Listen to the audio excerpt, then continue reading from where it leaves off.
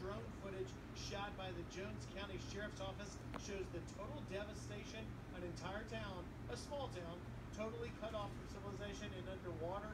And, you know, this is the same scene playing all across North Carolina. The governor saying 16 rivers at flood stage, three more that make crest.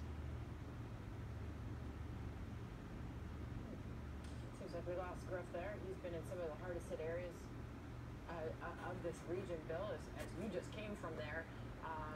Clearly, this is sort of giving us an idea of what President Trump is about to see as Air Force One descends on the area. Just look at that water. It just goes on as far as the eye can see. Uh, and for folks like Griff, we got him back now. I mean, just getting a signal out there sometimes a big challenge. And moving around, Griff, you know, it's it's difficult. Uh, it takes you a long time to get just about anywhere.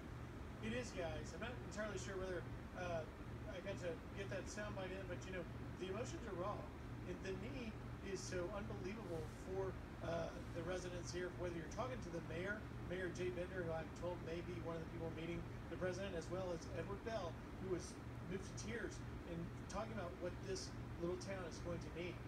Listen. But Mr. Trump needs to know that this is USA on the ground level, and uh, is the worst day of the, of the in the history of Pollocksville. And uh, it's kind of emotional. Uh,